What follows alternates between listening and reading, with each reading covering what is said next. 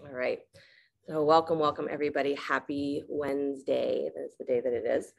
Um, my thought for you today is uh, this little poem thing showed up on one of my uh, social media feeds. Um, I'm rarely on them, but this showed up again. And so when things show up multiple times, I start to pay attention.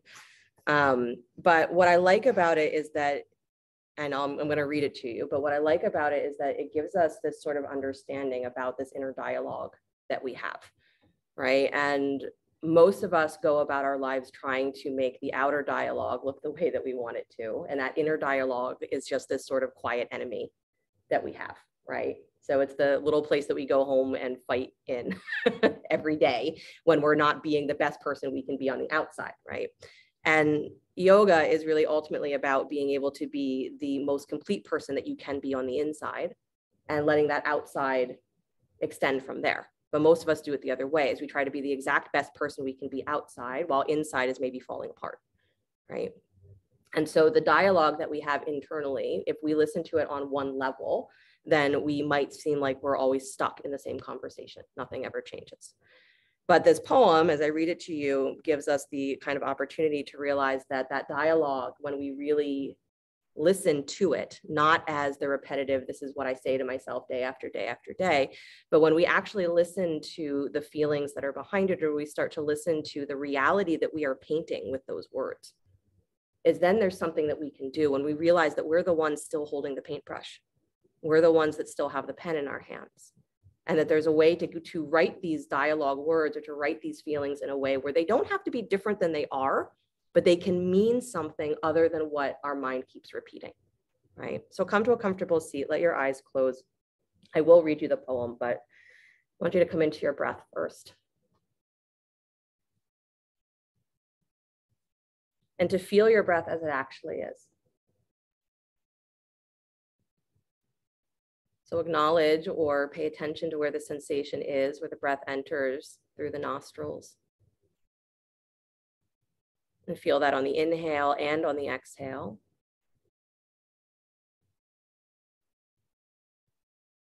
And then just relax into this moment.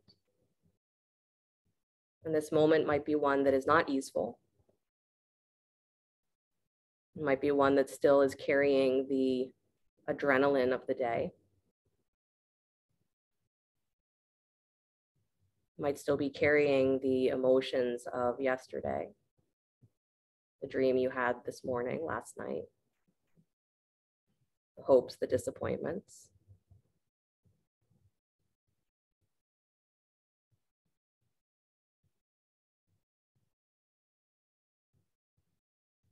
You're feeling the breath flow in and the breath flow out. Just feel all of that as though it is fluid.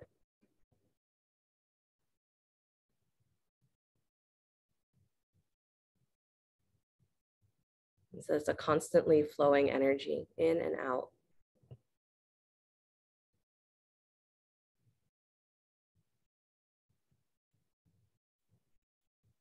then even if you are unconsciously doing so, let your belly go.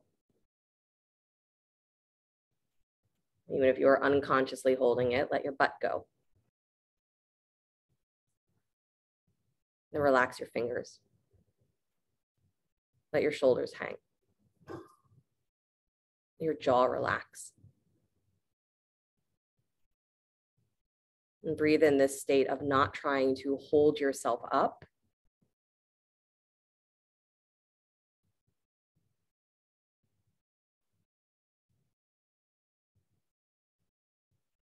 And just being willing to feel what's there.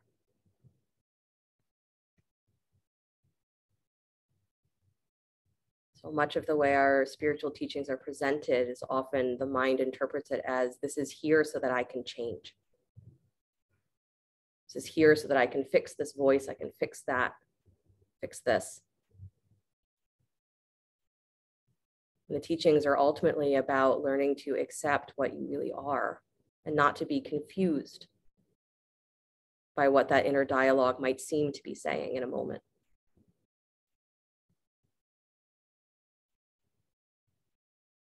Our greatest challenge is to learn how to relax.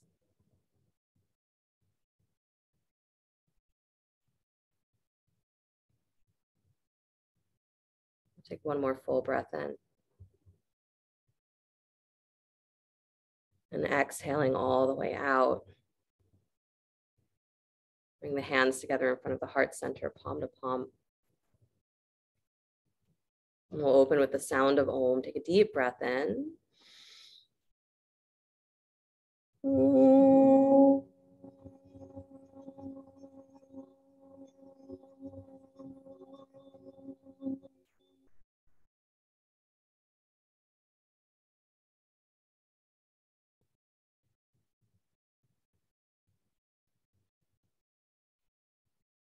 let the eyes float open. Nice, you guys. You can release your hands, please, then come forward onto hands and knees.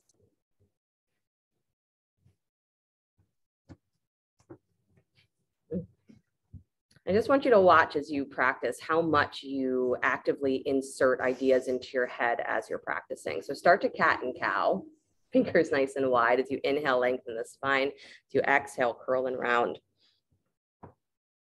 you know how often that inner dialogue is going on and even in the moment of you feeling something your mind is immediately saying don't feel it that way don't feel that how about we say it's this instead how about we turn it into that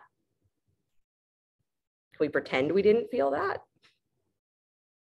Right? So just watching how much the mind starts to try and interpret your experience for you so that it fits into what the mind considers to be a good experience a less painful experience, a less real experience. You say that this entire external world, they call it Maya in the yogic text, which means illusion, means an overlay. That to be able to be the master of Maya or to be beyond that means that you see the truth of things, even though the illusion still exists. used to be a saying, and I don't know who it's credited for, but the idea that when you start, you know, practicing, when you start looking at the world through spiritual eyes, is that, you know, the tree is just a tree. And then you get deep into the teachings and you're like, oh my God, a tree is not just a tree. It's this majestic, like, you know, example of prana. And it means this and it means that. And everything means everything. It gets so complicated. And then you get a little deeper into practice and suddenly a tree just becomes a tree again. And that's what we're looking for is that moment where the mind relaxes around its attempt to make things into something. What we're looking for is where's the quiet in that inner dialogue? Are you tired of cat cow yet? Mm-hmm. Mm-hmm. Do it two more breaths. Good. And then come back to stillness, please. Nice job. Tuck your toes, lift your hips, come into downward facing dog. Good. Bend your knees a lot. So bend your knees so that they almost just hover above the floor if you can. So take them as low as you can, up on the balls of your feet. Drop your knees low, low, low, low, low, like an inch above the floor. And then pull your hips back towards your heels. So almost like you're trying to do child's pose, but your knees are just above the floor. Good. So really pull back. Scoop into your low belly. So it's like you're folding through your lower waist. Bend those knees real deep, you guys, as deep as you can. Good and then start to scoop that belly even more. Lift your hips high to the sky, straightening the legs, letting your heels reach towards the floor, but don't push them towards the floor. Good. And then step the right foot forward between the hands, please. Lunge. Good. Take both hands inside the front foot. Walk to your left until you come to the center of your mat. Prasarita Padottanasana. Turn your feet. Good. And then again, bend both knees. As your knees bend, press your inner knees wide, your inner thighs wide. Good. Feel the baby toe edges of your feet root down to the floor. Feel your inner arches squeeze up. So feel almost like you're trying to pull the balls of your feet and your heels towards each other. You're trying to like squeeze your feet. Good. Nice, you guys. And then let your weight move towards the balls of your feet a little bit more. Your hips move forward. Nice. And now from your navel again, start to press your hips up towards the sky, press down into your heels to let your legs to come to their appropriate amount of straight. So the moment you feel your knees lock, like there's nowhere else to go, you've gone too far. Even a completely straight leg should not feel locked. So press into your feet, pull up through your sacrum. Nice. Good. And then start to walk your belly towards your right thigh, please. Turning at the waist. Keep your left hip nice and wide. So don't let your left hip turn with you. Good. Keep that feeling of the weight moving towards the balls of the feet. Pressing through your heels. Good. Walk back towards center, please. And then start to walk over towards the left leg, turning your belly towards the left thigh. Keep your right inner thigh pulling wide, right hip pulling back and wide. Yeah. Nice, you guys. Good. Walk yourself back towards center, please. Nice. Turn your right toes out to 45 degrees. Bend your knee so that knee tracks towards the second toe. If your foot is wider than that, move your toes so that they are angled in line with your knee. Press that inner knee nice and wide. Keep your hands in front of you. Don't walk your hands to the right. Keep them right center. Good. Scoop into your low belly, curl and round into your back, and then let that tailbone drop towards the floor. So it's like you're rotating your tail down. Good. And then let that right knee widen even more. Drop your seat just a little bit more as you lift your chest. You got it, Aparna. Perfect. Right where you are. Good. Nice, you guys. And then go ahead, straighten that leg, turn your right toes forward again. Good. Second side, turn your left toes out 45 degrees, bend the left knee. And if your foot is wider, it's turned out more than what your knee can do. If your knee is not tracking along your second or third toe, turn your foot in more until it tracks with where your knee can go. Widen your inner knee. Good. Scoop into your low belly. Don't walk your hands to the left. Keep them center. Start to drop your tail like you're actually curling your tail under, dropping it down, and lift your hip points from the front up Good. Lift your chest just a little bit higher. Drop down through your pelvis. Let that knee go a little deeper. You got it. Nice chest. Good. And then come all the way back to center, please. Turn those left toes forward again. Excellent. Walk towards the top of your mat, please. Turn your right toes forward. Step both feet to the top of the mat. Standing forward fold. Good. Grab a block if you have a block. Place the block between the upper thighs. Good, narrow setting between the upper thighs. Good, and then make sure your hands can touch something. So if you need a block or two blocks underneath your hands as well, see how many blocks you have at home. Good, make sure your hands can touch something. So hug that block with the inner thighs. Good, and then come up on the balls of your feet. Uh-huh, so you give a little squeeze there. Good, scoop your belly, press your butt towards the sky. Nice, and now drop your heels towards the floor. So come back to equal feet. Bend your knees, keep your hands on the floor like you're coming into chair. So bend the knees a lot, take your butt back into chair, keep hugging the block. Good, scoop into your low belly, please. And then stretch your arms up alongside your ears, full chair pose with the block. Good. And then come all the way up to stand. Good, without pushing your pelvis forward. So keep the tops of the thighs moving back. Nice, don't lock your knees back, shins forward. There you go. Now come up on the balls of your feet standing, reach up through the sides of the waist, up onto the balls of your feet, hug that block. Good, tops of the thighs back. Nice. Now let your heels drop back down to the floor. Good, bend your knees again, dropping back into chair. Good. Nice, folding from those thigh creases. Pull your butt back. You got it, Lynn. And then release the hands down to the floor or your blocks. Good. Start to straighten the legs again without locking the knees. Weight towards the balls of your feet. Come up on the balls of your feet. Lift your heels. Good. Squeeze everything up into your lower belly. So suck up through that inner edge of the legs. Hug. Good. And then release the heels down to the floor. Bend your knees again back into chair with the hands on the floor. Good. Scoop the belly because I want your butt to go way back first. Nice. Now stretch the arms up alongside your ears without letting everything fall forward. Knees stay where they are. Arms all the way up, all the way up, all the way up. Good. Come all the way up to stand, pressing through your heels, not letting the tops of the thighs pop forward. Pull up through your low belly instead. Good. Now rise up onto the balls of your feet. Pull your heels up off the floor, tippy toes. Good. Pull your low rib cage in and up. Nice. And then let your heels come back down to the floor. Bend your knees back into chair one more time. Good. Pause there. Knees should not be forward of your ankles. If you look down and can't see your toes, move your knees back, even if that means you have to drop your waist a little bit. Good. I say your knees shouldn't be forward of your ankles. If they are, it's okay, but you want the butt moving back. Good. Stay in chair. Take your hands back behind you. Interlace your fingers at the low spine. Good. Shrug your shoulders up. Hug the upper arms. Feel the back start to squeeze behind the heart. And then take your butt to the sky, drop your head forward fold, stretching the arms up and over any amount. Keep pressing through all four corners of your feet and find your arches again.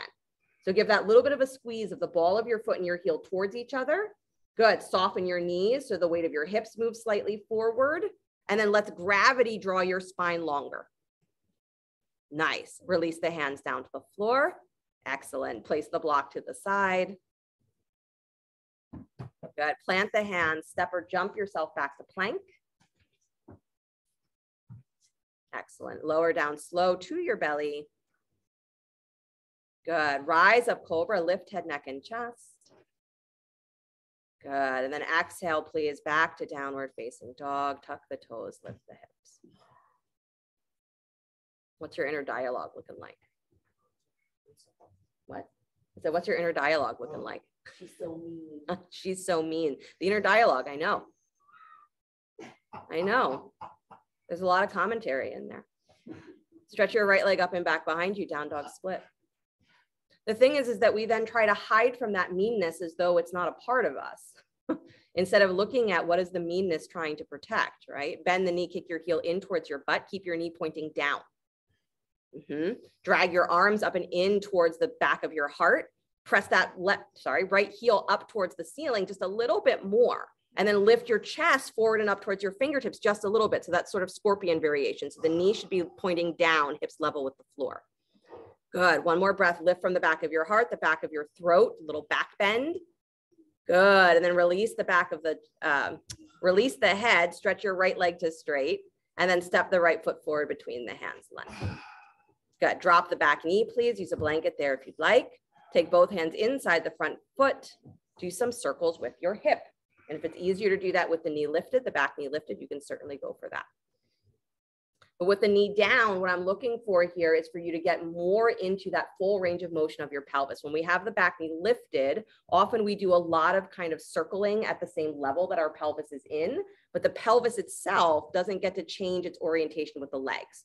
So just notice here with the back knee on the floor that you can do more interesting things than when you have that back knee lifted. interesting being a, you know, neutral word. Good, you guys. It's all interesting. Good. Slowly bring yourself back to stillness, please. Keep your hands on the floor. Keep your back knee on the floor. Good. So if your back toes are not tucked, tuck them. So the ball of the foot is on the floor and your knee is still on the floor. Just toes are turned under. Good. And I want you with your hands on the floor or blocks. Again, if your hands can't comfortably reach, press down through that back knee and drag forward. So you feel the top of your left thigh and your butt lifting up. So take your butt slightly up and back. Yep. Till the front of your back thigh feels soft.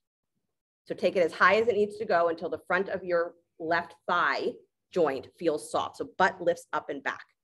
Yep and then scoop into your low belly again without moving your pelvis. Scoop into your belly, start to rotate your tail down. So you're curling into your low back, even though your legs look like they're still in a low lunge. Good. Now maintain that and bring your pelvis forward only to the point where that left thigh does not get hard, keeping your hands on the floor or blocks. Nice. Good, you guys. Now go ahead with those back toes tucked, lift your back knee up off the floor. Maintain that softness at the front of your left thigh. The minute you stretch so hard that your thigh becomes hard, you've gone too far, right? So lift your butt up and back. Yep, get softer. Squeeze your feet towards each other. That's where your real strength comes from. Good. Scoop into your low belly. Still feel like that back foot is dragging forward. Nice. One more breath. Excellent, you guys. Then go ahead and step back downward facing dog. I know you were wondering where the heck that was all going. That was it. you still have another side. Slide forward to plank pose, upward push up. Lower down slow, coming through knees first if you need. Good. Rise up cobra, lift head, neck, and chest, pointing the toes back behind you. Good. And then come back downward facing dog. So what are we working with, right? Tight hamstrings tend to be a positional thing with what our pelvis is doing. And sometimes with what the front of the pelvis is doing. So the hip flexors and all of that dictate what the hamstrings, back of the thigh, is able to do comfortably. Take your left leg up and back behind you, down dog split. Good, bend the knee, kick your heel in towards your butt, keep your knee pointing down. Good. And then start to lift that heel up higher towards the ceiling, noticing if you are arching your lower back to make that happen. If you are, draw up through your low rib cage, draw up through below your belly button. So you're supporting the front of the pelvis as you lift that thigh. Drag the arms up and in, lift your chest slightly forward. So it's like you're looking towards the tips of your fingers. Good. You can imagine the heel will come to the back of the head one day. Good. Excellent, you guys. And then release the upper body, stretch your left leg to straight, and then step that foot forward between the hands, lunge. Good. Drop the back knee, take both hands inside the front foot, circle your hip. Good. And again, try to get into that full range of motion, how the thigh interacts with the pelvic bones. Because this has so much to do with when our hamstrings get super, super tight or things get immobile, is that the positions of the bones are actually keeping it so that nothing can change, right? That's what repetition does. So we do a lot of things. We tighten up one muscle group for whatever reason.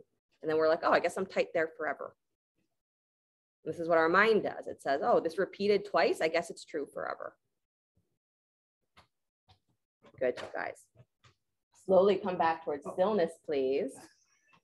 Good, back knee stays on the floor. Keep the hands where they are, but press into your back knee, tuck your back toes, and then lift your butt up and back enough so that you feel the front of your right thigh, your back thigh gets soft. So you don't have that hard pushing.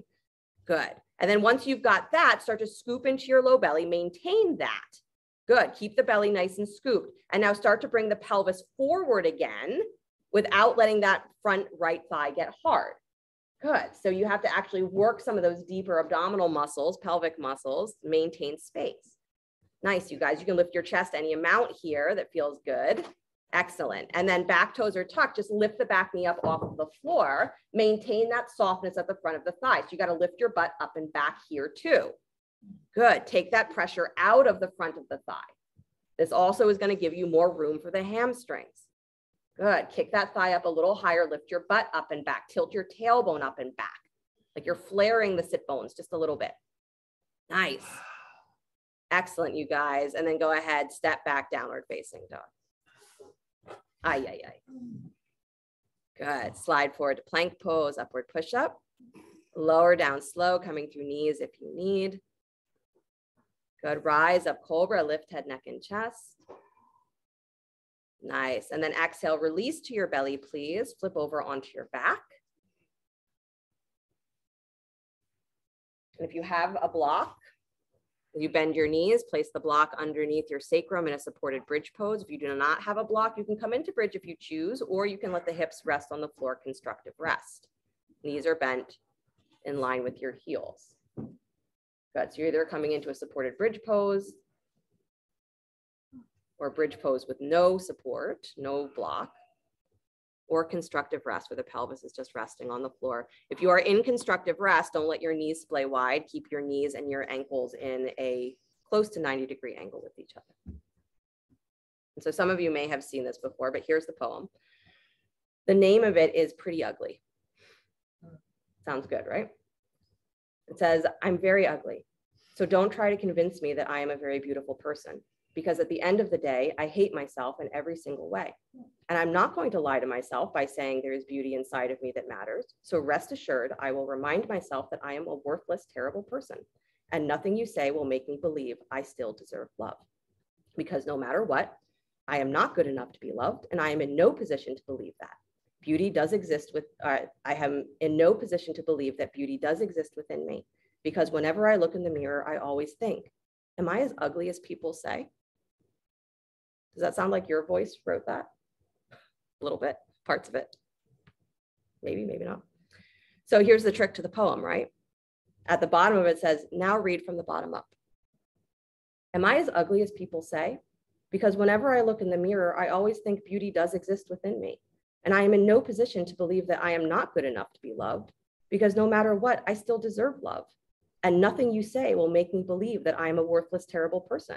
So rest assured, I will remind myself there is beauty inside of me that matters. And I'm not going to lie to myself by saying I hate myself in every single way, because at the end of the day, I am a very beautiful person. So don't try to convince me that I'm very ugly.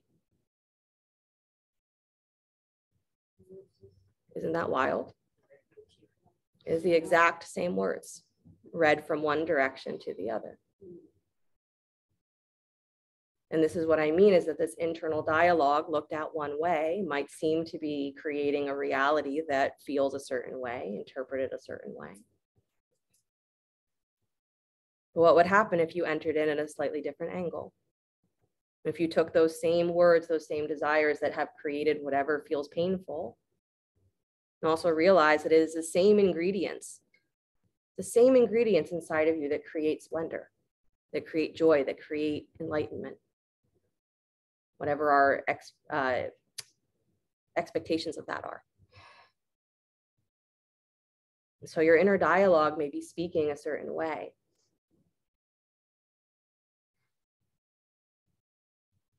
But if we only see it through that repetition, through those eyes that say, this is what it is, because this is what I decided it was the first time I heard it. And we miss out on the, on the fact that we are the artist we all and we are the writer. And that those same ingredients can become a reality that is different means something different.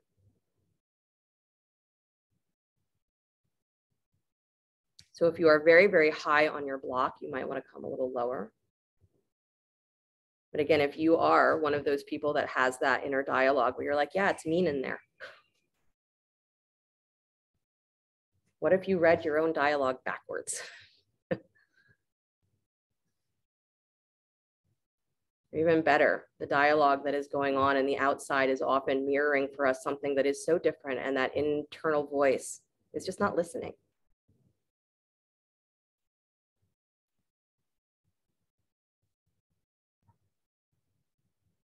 So knowing that you can change how that dialogue is perceived, I think is very powerful. Still with your sacrum resting on the block, draw your right knee in towards your chest.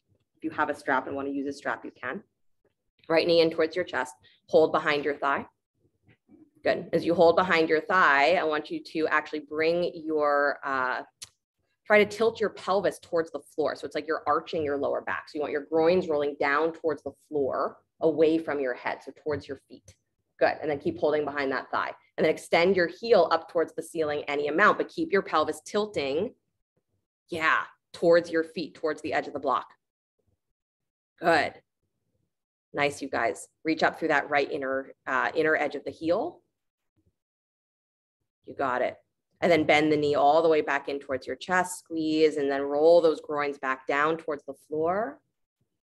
Good. And then step that right foot down to the floor. Release it. Try the other side, draw the left knee in towards your chest. Good, hold behind the thigh. Draw the groins or tilt the pelvis so that it is, uh, tailbone is rooting down towards the floor, tilting towards the floor, towards your heels. Good, so it's gonna feel like you're arching your lower, your lower spine. And then extend your left heel up towards the sky. Keep pressing your thigh against your hand so that again, you can work the pelvic alignment here, the pelvis tilt, less than you are focused on how straight you can get your leg. Good. Then feel the reach through the underside of the heel. I don't care what happens behind the knee. What matters is can you extend out from your calf? Good. Really good, Lisa. Nice, Sue. Nice, Laura. Good, Pam. Roll those groins down towards the floor. That's it. And then hug the knee back in towards your chest. Again, get into that little arch of the lower spine. So your tail is rotating down away from your belly. Good. Nice, Mark. Release that left foot down to the floor. Excellent. Lift your hips up off of the block. Place the block to the side. Mm -hmm. Pause for a moment. Pelvis just on the floor.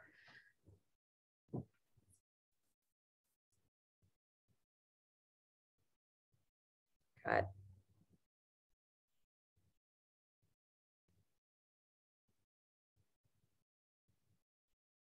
Said, watch how much your inner dialogue inserts itself into your practice.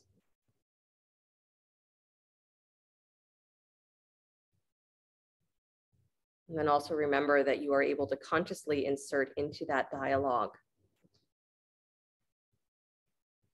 a lot of affirmative feelings, affirmative thoughts, affirmative ideas.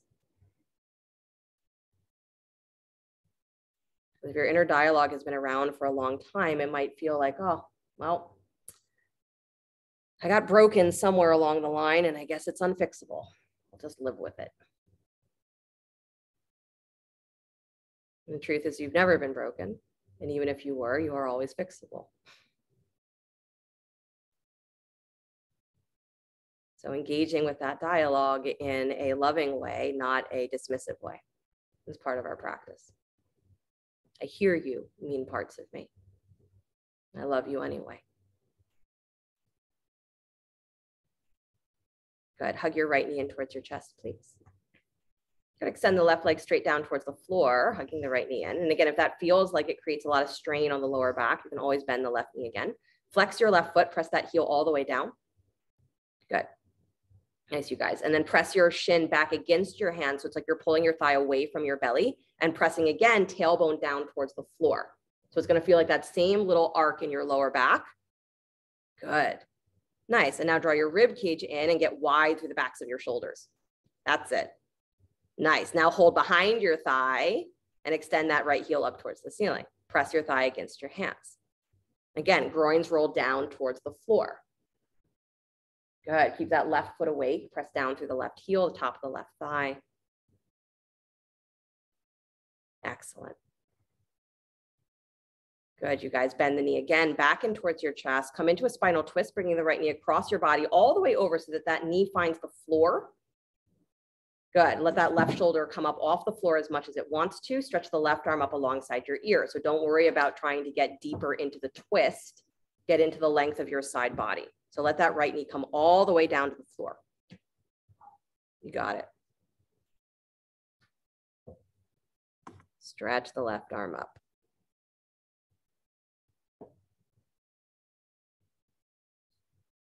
Good. Breathe into the back of the rib cage. Breathe into the back of the sacrum.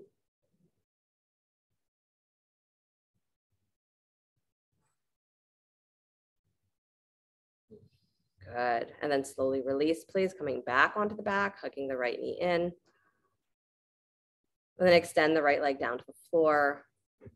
Good. Draw the left knee in towards your chest. Or actually, I kind of like this. So as you bring your left knee in, bend your right knee as well and plant that foot just for a second, just so you can remind yourself of the difference of what it feels like to hug your left knee in with your right knee bent, right? A little bit more space in your pelvis. Roll those groins down towards the floor. Good. Now keep the left knee in as you start to extend your right leg down to the floor just notice what starts to feel like it is restricted or what's tighter or what's less mobile. Good. Press your left shin against your hand. So again, the belly moves in and down towards the spine. Your thigh moves away from your belly. Good. Tailbone rolls down towards the floor. Nice. Relax your shoulders. Your shoulders can't help you here. How did you know? How did I know? I live in a human body too. Good. And then release that, please. Hold behind the thigh, extend the left heel up towards the sky. And it is generally the case in these human bodies that when we feel vulnerable in one part of our body for whatever reason, is we try our best to make up for that by over engaging where we feel stronger, what feels accessible. So especially in the lower body, when things are very tight, that also translates to us as weakness, right? Muscles are tight, they're not very available. So we feel actually insecure in the lower legs or in the lower body. So what do we do? We tighten up higher up because that's what's available. We feel insecure inside. Instead of trying to empower those parts, what do we do? We tighten up somewhere else and get mean. Press that thigh against the hands, draw the tailbone down towards the floor. And that's not always the case, of course. If I'm, you know, saying stuff that doesn't make sense in your internal world, then leave it to the side. Hug that left knee back in towards your chest. Good, take it over to the right for spinal twist. Let that left shin come all the way to the floor, knee all the way to the floor. And stretch the right arm up alongside your ear. Good, so there's no worry about that right, uh, sorry, about your left shoulder trying to find the floor. None at all. I think I said right arm up over the ear, but left arm up. There you go.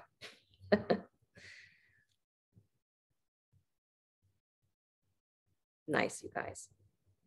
The idea is to breathe really long from your outer armpit all the way down to your hip.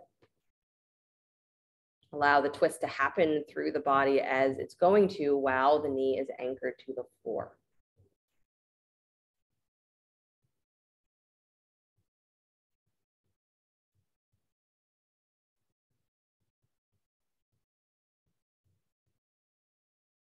Nice, you guys. One more breath, breathing into as much as you can, the back of the body, not just the front.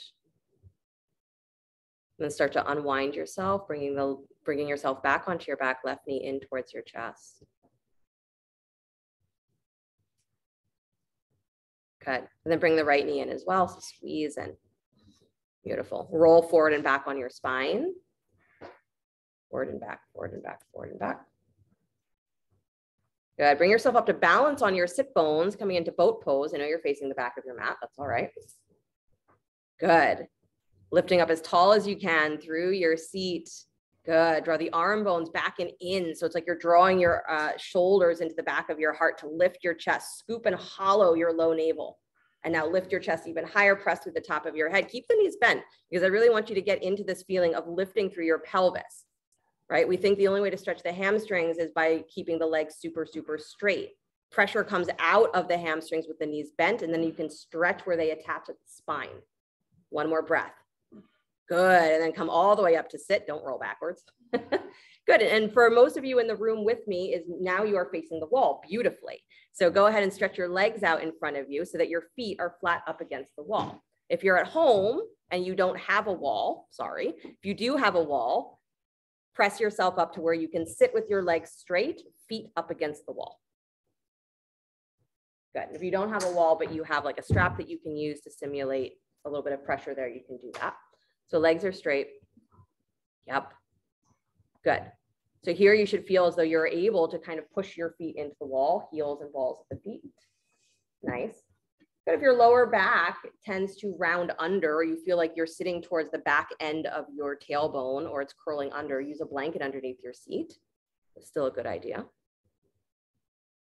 Good. Just remembering that hamstring stretching has a lot to do with the angle of your pelvis. It is less about straightening your knees. It is more about getting your pelvis into a place where it is able to be vertical without strain. So make sure you can still push your feet against the wall.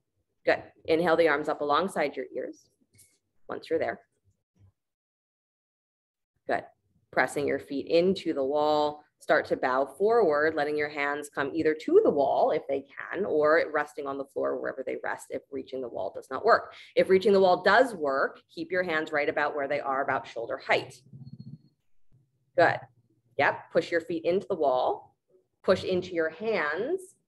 Good. Round into your back just a little bit. Nice. Let your knees pop up slightly. Yep. And now start to lift your chest forward and up at an angle, like you're going to bring your collarbones to the wall. So let your knees stay bent, keep your heels rooting down, balls of the feet pushing into the wall, pushing the hands into the wall, and now lift your chest, lengthen the spine. Good. Nice, nice, nice.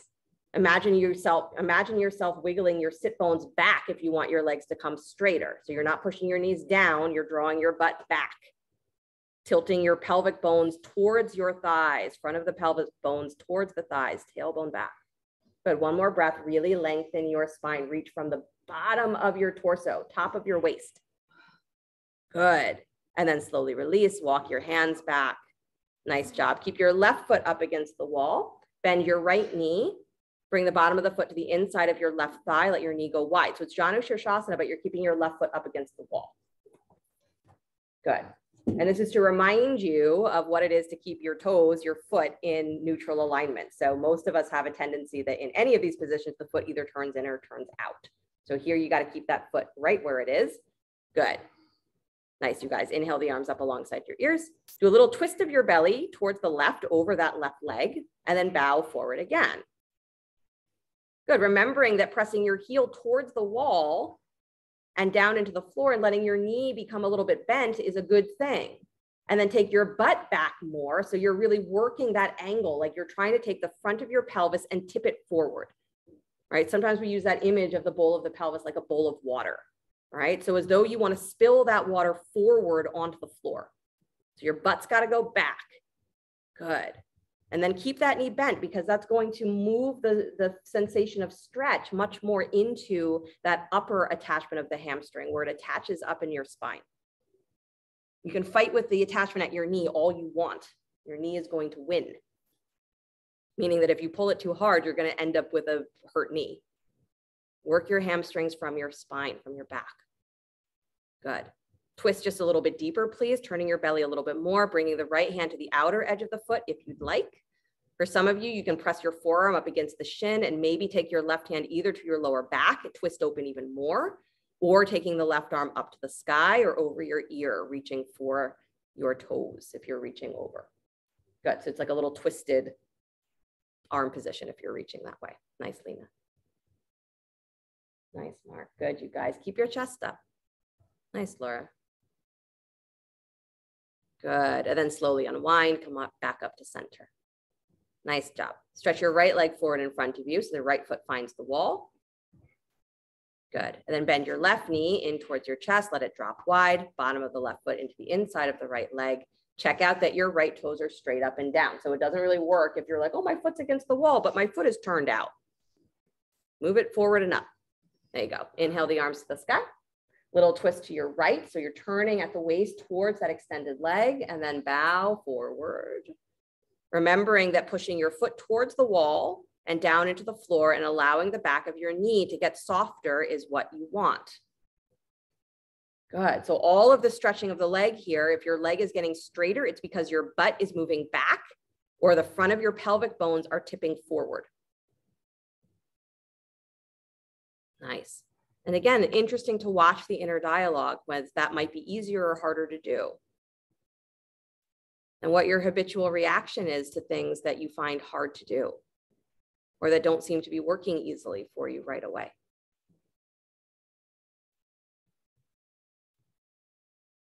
Because in any of these moments, and this is a great deal of our practice, in any of these moments, we're able to relax around what is there. We don't have to grip because there's a mean thought. We don't have to grip and go, oh my gosh, because of whatever passes through our mind. We can go, oh, okay, I hear you. And also loving kindness and also patience for myself. And also respect for the me that is really giving everything I've got. And beautiful to acknowledge that if you feel like oh, I'm not giving everything that I got, okay, you don't have to. You're not required to. you don't want to leave this life empty. Funny way to put it because yoga says, yes, we want to become empty. Mm-hmm. Twist a little deeper, please, taking the hand to the outside of the right leg. You don't want to live in an exhausted state, put it that way. Good. Right hand can come to the lower back or stretching the arm up alongside the ear, maybe even reaching all the way over towards that extended leg if you would like. Little twisted arm position, looking underneath the right armpit. Like that, Laura, using the wall. Good. And then slowly release, come all the way back up. Excellent. So bend both knees, stay close to your wall. Uh, carefully come forward onto hands and knees so that you are facing the wall. Come into downward facing dog. I say carefully because if you just roll over your feet, you might bonk your head into the wall, some of you. So come into hands and knees facing the wall, downward facing dog. You still want to be fairly close to the back of your mat though, so pretty close to the wall. Good. Take your right leg up and back behind you, down dog split. And then bring that right knee forward and through for pigeon. I want you to be able to bring your hands to the wall in pigeon. So as you come mm. forward and you start to set that, that shin, you might have to scoot yourself forward even more so that you are able to lift your hands up to the wall in your pigeon pose and be fairly vertical. I don't want you to be super, super leaning. So Jess, I would come towards the wall just a little bit more. Good, good, Lynn, nice yeah, really, if you want to really challenge yourself, get closer to the wall. Is that what you do? Is that what you do? You get Yeah, close to the wall? get- To, to, to make it really challenging? Get close to the wall? Yeah. Well, you'll see. Oh. Yeah, so find, find your pigeon pose. Good. And then walk your hands up the wall. You can give yourself a moment here to, to sort of hang, but press into that right shin a lot. And then if you're hanging, notice how much you are now dropping into that hyperextension through your elbows. This is the same thing as what your thighs do, right? Is they get super hard because we're just dropping all of our weight into the joint. So push into your hands, pull your rib cage up and in so that that hardness around the front of your armpit gets softer. And now as you're pressing into that right shin, scoop into your low belly, lift your belly up off of that thigh, press into your back knee. And again, feel like you're lifting your butt slightly up and back. I know I'm making you really work your legs. Tucking the back toes can be nice. Good. So you're pushing into the wall, getting a little bit more rounded in your back. Instead of falling all the way forward in pigeon, you're getting rounded. Nice. Press into that back knee. Don't let that left thigh get hard. Good. One more breath. Nice. And then walk your hands down the wall, back onto the floor, downward facing dog. I'm not sure if that looks comfortable or not, Lindsay. Are you just stuck? Okay. Downward facing dog. Of course you are. It's your favorite. It's a special spot in your back that just collapses. All right, pedal your feet a little bit, wiggle your butt. Shake out your sillies. And then second side, left leg comes up and back, down dog split. And then bring that knee forward and wide, find pigeon on the other side. Again, close enough to the wall. So get as really as close as you kind of can. Because while it might feel good to get into that real like hang through your arms, it'll feel good for a couple of breaths, absolutely. But the idea is for the wall to be support, for your spine to stay vertical, for you to get more vertical. Good. And blocks are great, Kristen. What you're doing there totally works. Good. So walk your hands up the wall, please, at least shoulder height. And then if you want to give yourself that hanging sensation for a breath or two, go for it. Let yourself really feel, ah, there's the front of my armpit stretching. There's my chest stretching. Yeah, just realize that it's a little bit like yanking on rubber bands. If you stay there for long enough, it's just going to start to feel like something's tearing. So press into your hands before that happens. start to pull your rib cage back and in. Press into that front shin, press down through your back knee and feel like you're trying to lift your butt up and back towards your back heel. So you're able to get more vertical through your torso. The goal here is not to be folding forward. The goal is to be using the wall to support vertical. You're like, darn, I don't like this anymore. That's all right. Uh, you got to press down into your left shin a little bit more and rotate your right hip forward. Tell my hips that. Uh-huh. Good, you guys. Really press down through the legs. Feel yourself lifting your hip points up off of your thigh, dropping your tail. Your butt might come away from the floor. That's exactly what should happen. Good. And then go ahead and walk the hands back down. Nice job. Good. Head come back into downward facing dog, facing the wall. All the sass out. Pedal your feet.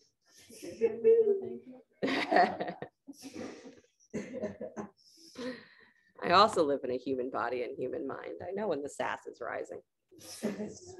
Good. And then step your left foot between the hands, please. Lunge. Good. Walk your hands towards the inside of that foot. Walk to your right until you come to the center of your mat. Turn your toes, Prasarita Padottanasana.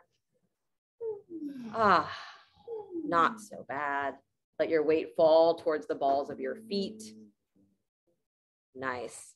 And then turn your right toes out 45 degrees. Bend your knee, again, letting that knee move towards the second or third toe, adjusting the foot if necessary. Good, keep your hands center. And then again, scoop into your low belly, start to drop your tailbone down towards the floor as you lift your front hip bones up, lift your chest up a little higher. And then for those of you who feel like you want to go there, start to come up on your left heel, turn your left toes, rotate them up towards the ceiling. Keep dropping your tail down towards the floor Good. Lifting your pelvic bones up. So you're scooping into your belly, dropping your butt like you're trying to get into vertical where you can stack your shoulders over your hips. So it's a much deeper side lunge. Good. So your knee is going to go beyond your ankle in that position. Good. Linda, just watch that knee. Right knee pushes wide. Yep. Good, you guys.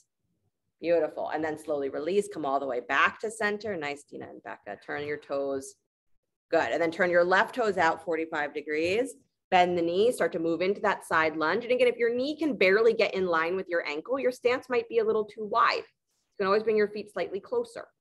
Good. Scoop into your low belly, start to drop your tail as you lift your hip points up.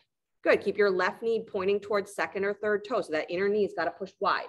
And then if it feels like it's appropriate, turn your right toes up towards the ceiling, rotating that thigh. So you're up on your right heel. And then you can drop your butt even lower towards the floor, but continue to lift your hip bones up, tailbone drops. So getting as vertical as you can through your pelvis.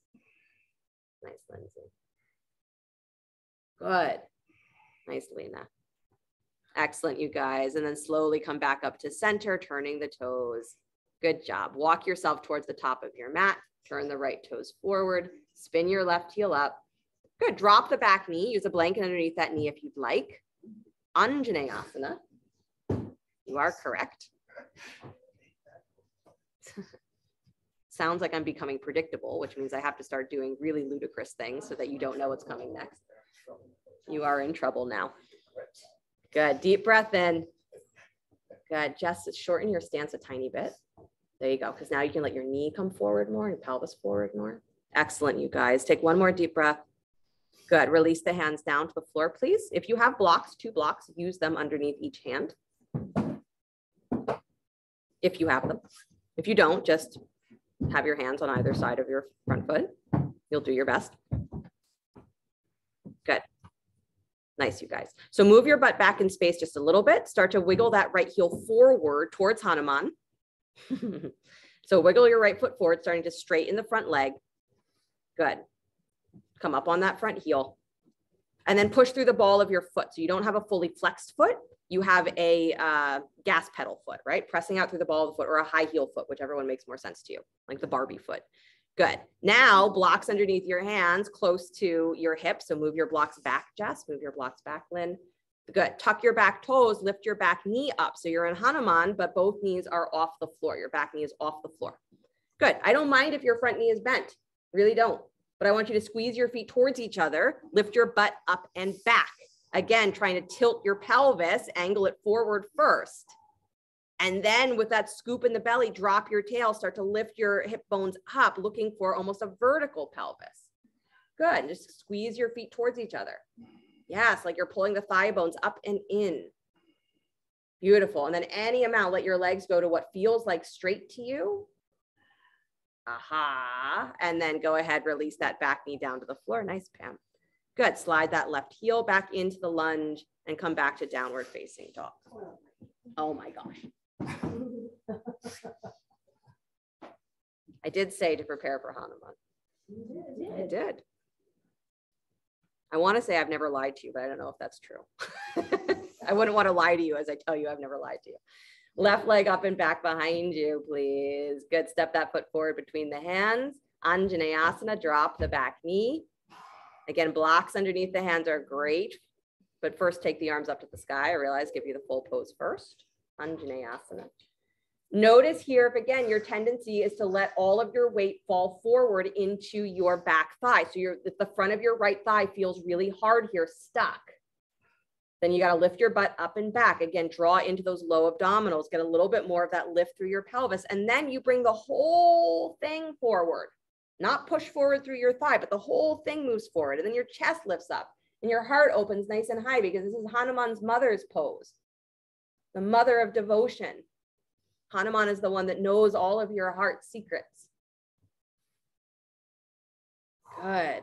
And then release the hands down to the floor. Really nice, you guys. Use blocks underneath the hands if you would like. Start to move your hips back just a little bit so that you can start to straighten your left leg, come up on the ball, sorry, on the heel of the foot. Good. And then don't do a full hard flex. So as you curl those toes up, push through the through the ball of the foot so that there's a different engagement on the back of the leg and then start to tuck your back toes, lift your back knee. So you're in Hanuman, but you are Hanuman far away from the floor. You are flying through the air. Front knee can be bent. Good. Nice, you guys. Heart lifts nice and high. Scoop into your low belly. Again, dropping the tail, lifting the hip bones up. But then simultaneously knowing that it might feel actually better to tilt the pelvis forward and just really get your tail up and back. It's the first step, right?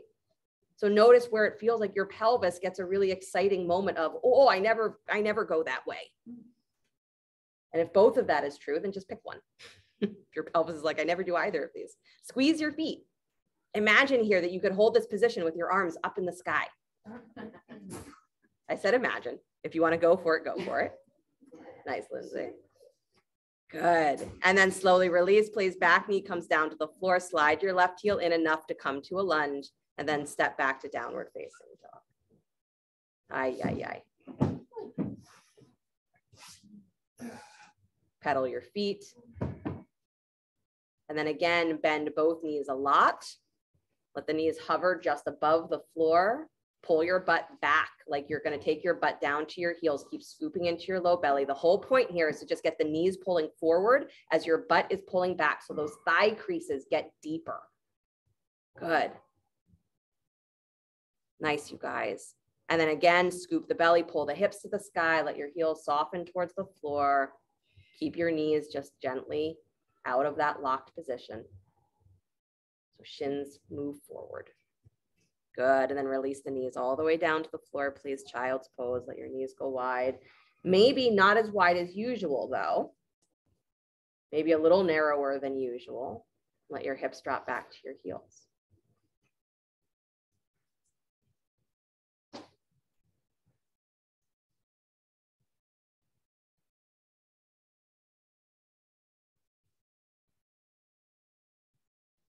Because at the end of the day, I am a very beautiful person. So don't try to convince me that I'm very ugly.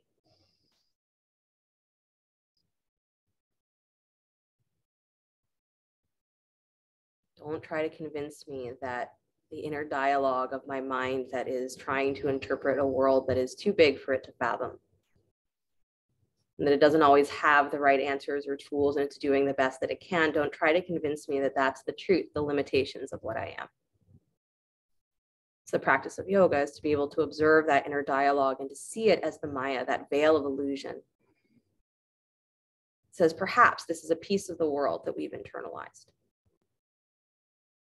But it's not the full reality. Maybe we're, be able, we're able to see between the lines between the words? What is that inner voice really trying to say?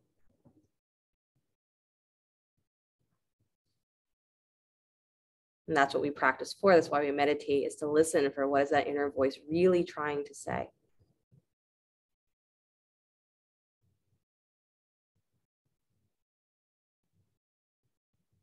And slowly walk yourself all the way back up, please.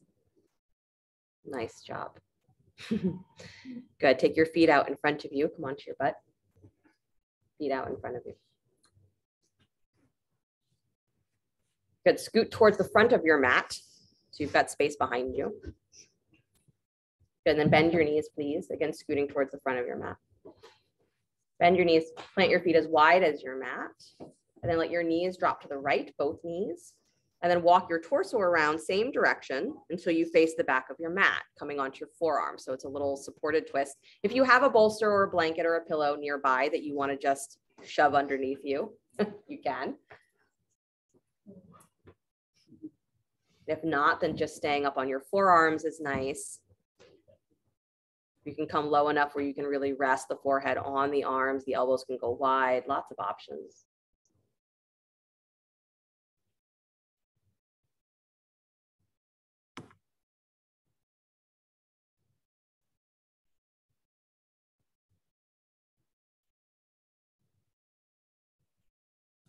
Not entirely sure where you're at, Lauren. It looks like you're doing something maybe different, or maybe I just can't see. Yeah, so drop your knees all the way to the right. Yeah, like a twist. And then your belly should be almost facing the floor. So you're like really twisting the full opposite direction. There you go.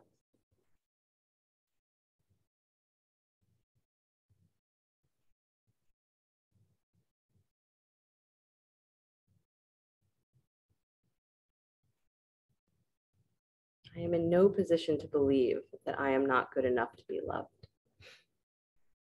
Isn't that the truth?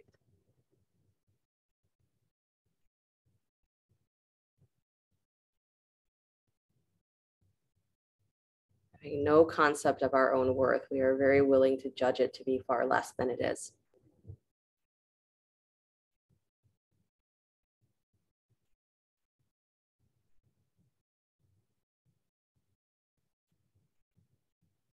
So that inner dialogue is a place where we can see the reflection of maybe what we've been told.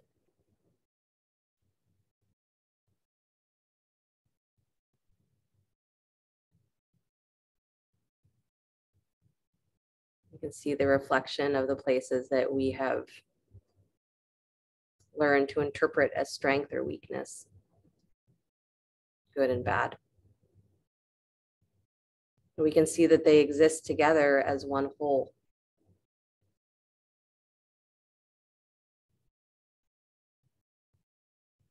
So there's a place to insert into that dialogue love, acceptance, compassion, patience, courage, contentment. Pick what suits you.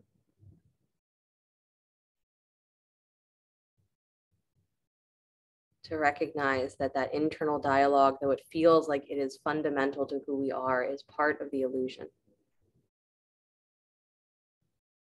You are the painter, you are the artist, you are the writer. You don't have to subtract anything, but keep adding.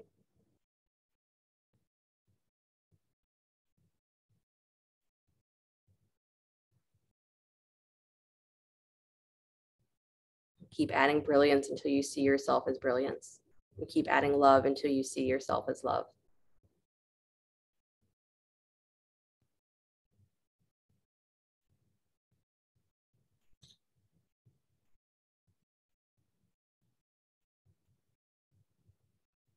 Slowly walk yourself all the way back up. Coming back to face the top of your mat. Right, give yourself a moment before you switch to the other side. Again, starting with the feet as wide as your mat is the suggestion. If that feels like it's too much, and when you come into the twist, you can always adjust. Let your knees drop to the left, and then start to walk yourself around same direction until again your torso faces the back of your mat. And either your side waist or your belly can either drop down onto a prop if you have one, or you can be resting on your forearms facing the back of the mat.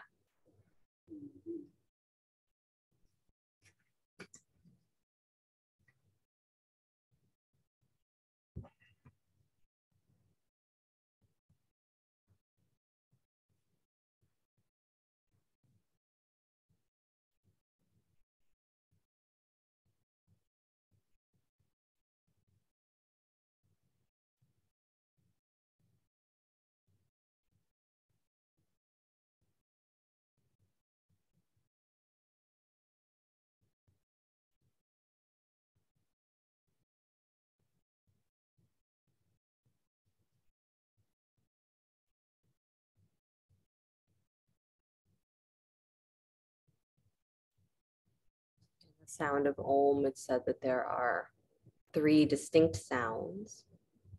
The fourth sound is silence. When you are expressing the sound of Om, of course, you believe that you are beginning from the Ah, the O, ending with the M, and then silence, the fourth, so it must be the last sound. The silence was there before you began the Om. So is it the fourth sound or the first sound? Is it both? The underlying reality that is beyond just your expression outward or your interpretation inward. There's that fundamental layer that is not either of those.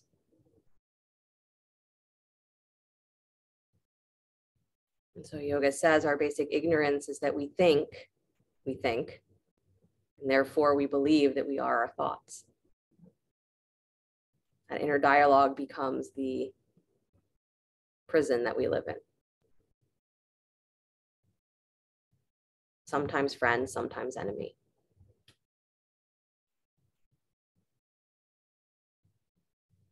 And what if that dialogue could be interjected with something that was more fundamentally true?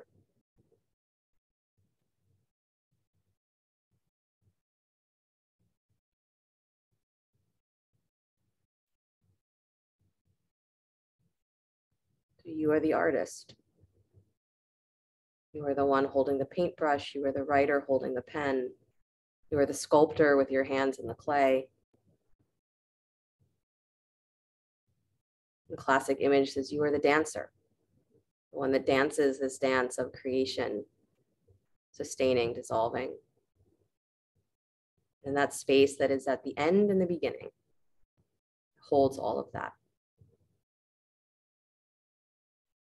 So we think that we are the victim of or that we are stuck in whatever that inner dialogue has become. When it is yours to make into either that poem that says very clearly, I am sure that I am ugly and you cannot convince me otherwise. Or it can be the poem that says, I don't think that that's true at all and you can't convince me otherwise.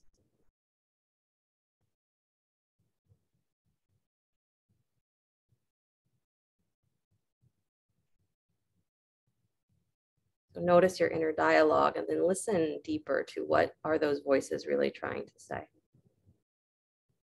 And what would you say to those voices, knowing that they are you? Instead of shut up, go away. what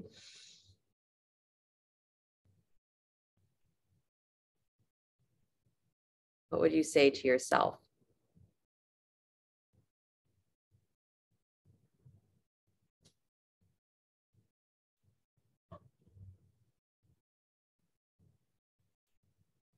Your last breath on this side. And start to walk yourself all the way back up. Coming back to face the top of your mat, giving yourself a moment. Bring your feet together, let your knees drop wide. Let yourself just fold forward into a lazy Baddha Konasana. So if you want to have a longer diamond on your legs, do that. And I say lazy because I don't want you to try very hard here. I just want you to lean forward, let the legs splay wide. Keep your feet just a little bit awake. Relax your shoulders. Relax your jaw. Whatever the pose feels like it's easy or it's not easy, let yourself be in a place where you don't hate it. Just breathing in the possibility that you can feel anything and everything that is inside of you. You don't have to hate it.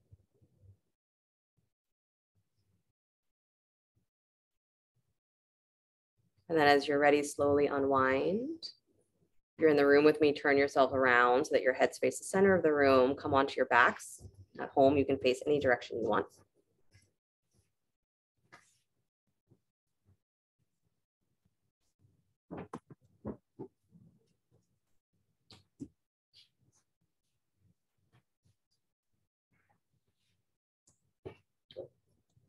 Losing my light.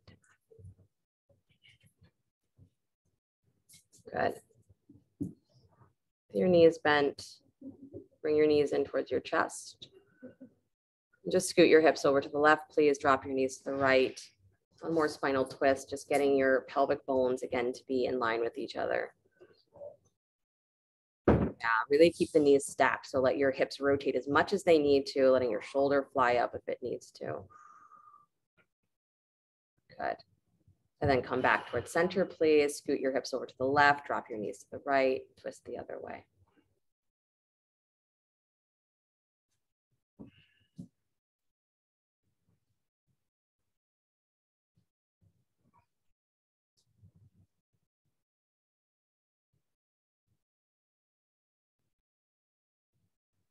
Nice. And then as you come back to center, you can pause for a moment, squeeze your knees in towards your chest, forehead up to meet your knees. And then slowly release, extending the legs out, maybe taking a rolled blanket underneath your knees if the hamstrings are a cranky place.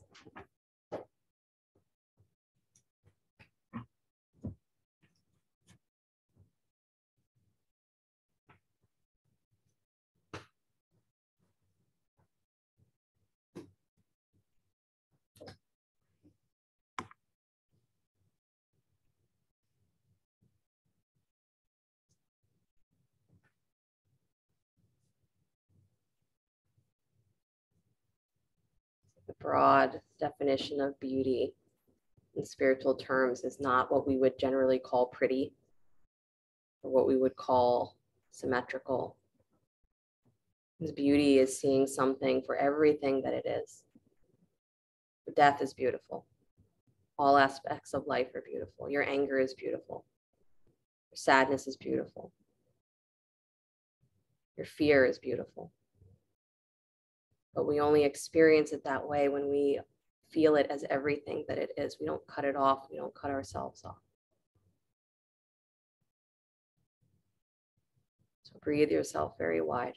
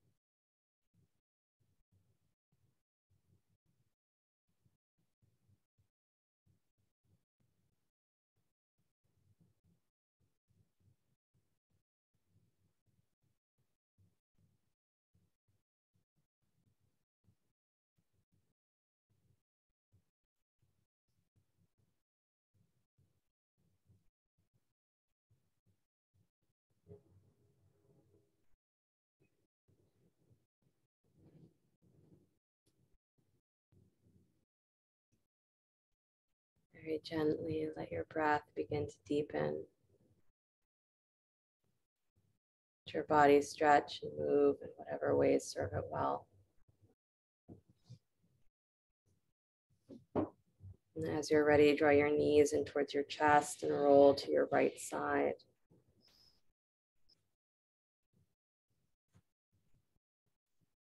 Take a moment before you begin to push the floor away. Come back to an upright seated position.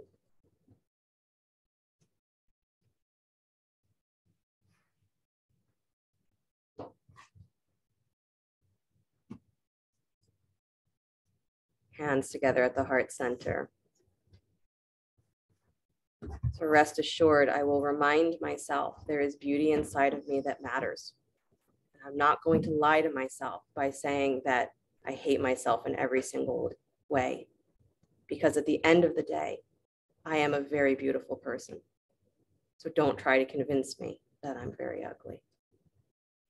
Remind yourself daily, breath by breath, that experiencing your whole self is what is that experience of beauty. So hold nothing back. Close with the sound of Om, deep breath in.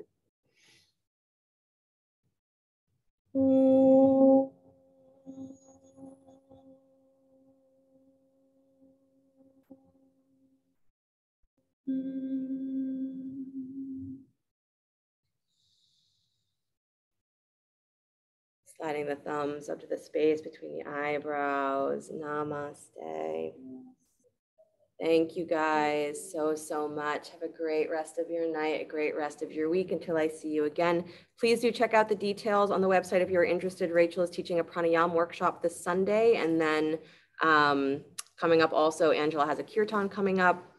And uh, there's some, Neil has a workshop on Shiva coming up for Shivaratri at the end of the month. So take a look. Details are all up on the website and you should be getting emails and all that stuff. See you guys soon. Thanks. Thanks. Welcome. Thank you.